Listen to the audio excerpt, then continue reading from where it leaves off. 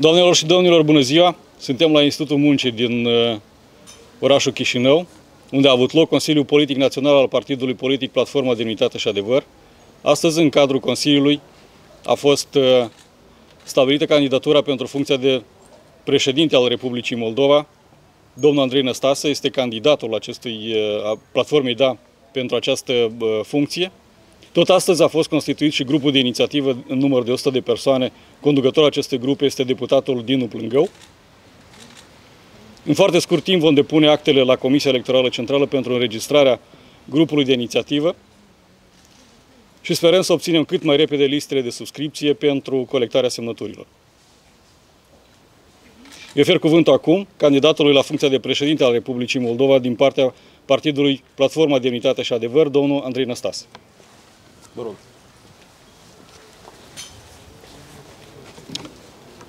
Dragi prieteni, stimați cetățeni ai Republicii Moldova, astăzi, 1 septembrie, intrăm cu toții în ultima perioadă și poate cea mai importantă dinaintea alegerilor prezidențiale preconizate pentru 1 noiembrie. Miza acestui scrutin este atât de importantă încât va marca în toate detaliile sale evoluția societății noastre în anii care vor urma. Încă din, 1000, din, încă din 2015, an în care a luat naștere mișcarea de rezistență națională împotriva tuturor celor care au jefuit, sărăcit și umilit această țară, noi, cei din Platforma Demnitate și Adevăr, împreună cu toți oamenii cinstiți și curajoși ai Moldovei, am luptat pentru ceea ce se cuvine de drept poporului nostru. Am luptat pentru libertate, pentru dreptate, demnitate, adevăr și o viață mai bună. În toți acești ani de muncă și de luptă, nu ne-am abătut nici măcar un pas de la principiile și valorile democratice în care noi credem cu sfințenie. Am rezistat regimurilor sinistre care și-au bătut joc de Moldova și de oamenii ei. Am susținut aspirațiile noastre legitime ale tuturor pentru edificarea durabilă și irreversibilă a unui stat de drept cu cetățenii săi, aflat mereu și necondiționat în slujba acestora și niciodată împotriva lor. Uniți de forța unor asemenea valori, strâns adunați în jurul lucrurilor în care credem cu tărie, noi toți, împreună, am demonstrat că se poate. Așa am învins în lupta pentru primăria Chișinău. Așa am reușit în ciuda celui mai opresiv control oligarhic să trimitem în Parlament, prin votul nostru rațional, obiectiv și asumat, cea mai productivă fracțiune pro-europeană și națională.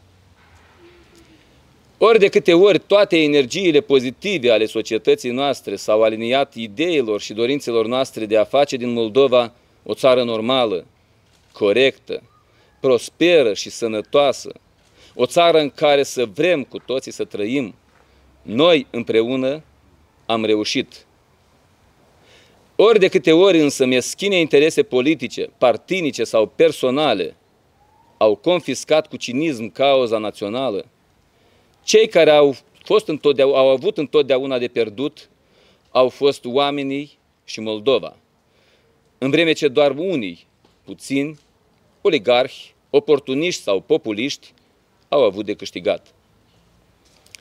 Bătălia pentru Moldova se dă astăzi între câteva milioane de oameni apăsați de suferință, de corupție și sărăcie, obosiți de cei 30 de ani în care au așteptat și au crezut că vor trăi bine în țara lor și toți cei care au făcut din politică singura lor rațiune de parvenire publică, de închipuită preamărire și atât de neimportantă confirmare personală. Această bătălie pentru Moldova se va da între noi toți și ei. Cei care vor cu orice preț să tranzacționeze în continuare viitorul țării noastre în funcție de orgoliile și interesele lor partinice și personale. Victoria va aparține celor cinstiți cu ei înșiși, celor care înțeleg că de alegerile noastre depind toate, absolut toate lucrurile care ne influențează viața și viitorul. Victoria va aparține celor care prețuiesc și slujesc adevărul, celor modești, celor hotărâți și determinați, celor mulți, celor cu atât de bun, mult bun simț și cu frică de Dumnezeu.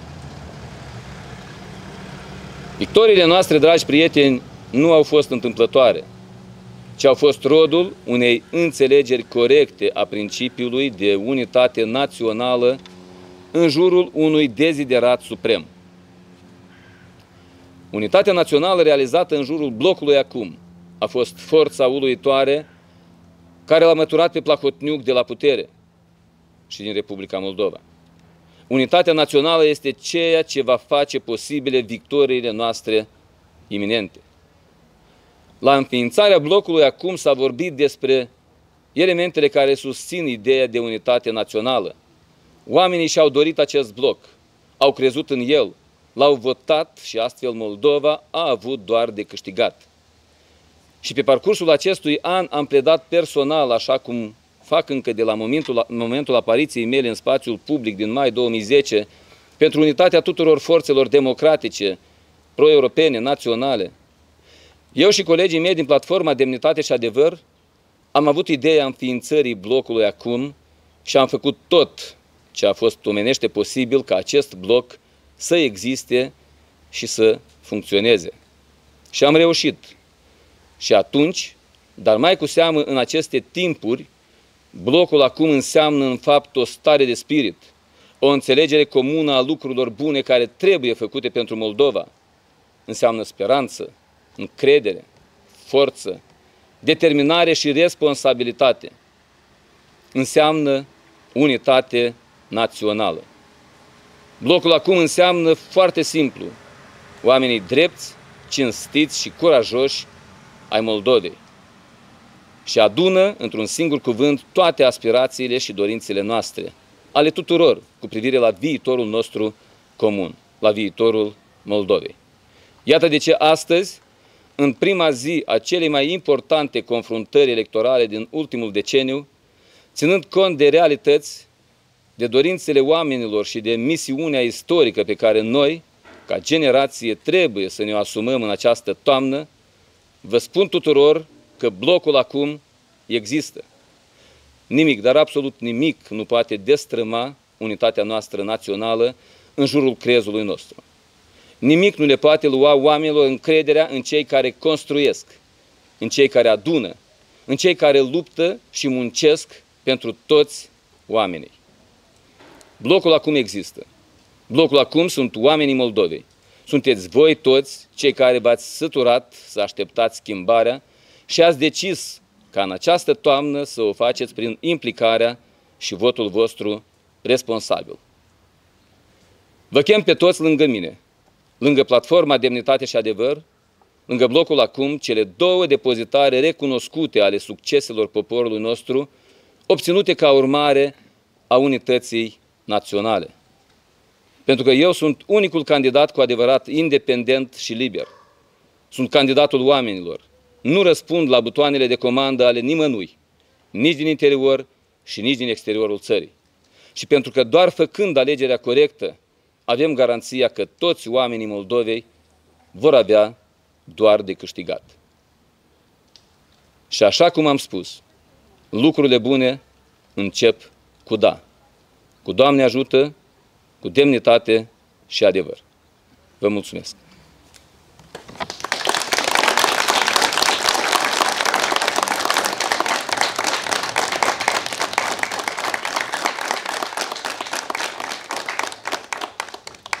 Da, dar noi nu putem să nu spunem tuturor un da ferm, un da hotărât pentru Moldova. Da, Moldova! Da, Moldova! Da, Moldova! Da, Moldova! Da, Moldova! Da, Moldova! Da, Moldova! Da, Moldova! Da, Moldova! Da, Andrei Năstase! Da, Andrei Năstase! Da, Andrei Năstase! Da, Andrei Năstase! Da, Andrei Năstase! Da, Andrei Năstase. Da, Da, da. Bine, vă mulțumesc foarte mult, să fie într-un ceas bun, să fie cu Doamne ajută. Mergem acum împreună cu domnul Dinu Plângău să facem procedurile